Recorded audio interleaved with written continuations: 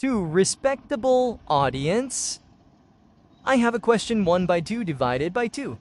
Mostly some people cancel 2 and 1 by 2 and they will get answer 1 but it is wrong.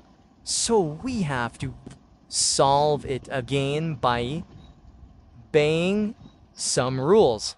1 by 2 divided by 2 can be solved as by applying key C F rule.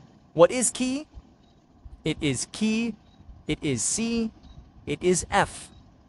So K, C, F.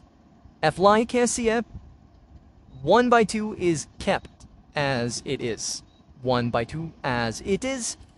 C, C change. Divide is changed into multiplication. And F mean flip. We have to flip to, or we have to take its reciprocal. Basically, 2 is 2 over 1. And when we flip it, we will get 1 by 2. So flip 2 means it will become 1 by 2. Now there is a simple multiplication 1 times 1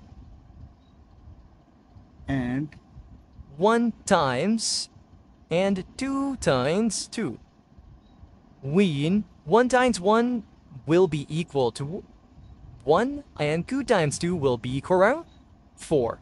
Thence 1 by 4 will be our chink answer. Thank you for watching.